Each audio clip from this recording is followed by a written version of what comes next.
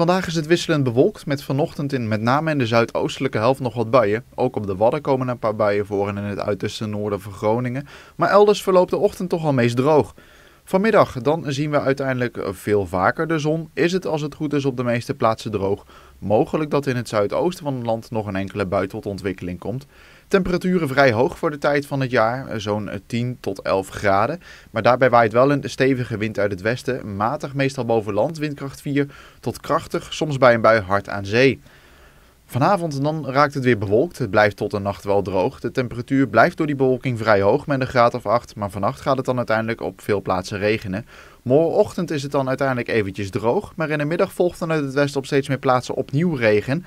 En dan waait er een stevige zuidenwind. En alsnog wordt het vrij zacht met 10 tot 13 graden.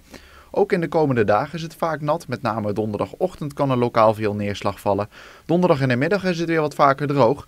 Vrijdag is dan de beste dag van deze drie. En dan in het weekend neemt de kans op regen opnieuw toe. Al met al blijft het vrij zacht met maxima rond een graad of 10. Mijn naam is Wilfred Jansen voor Weerplaza.nl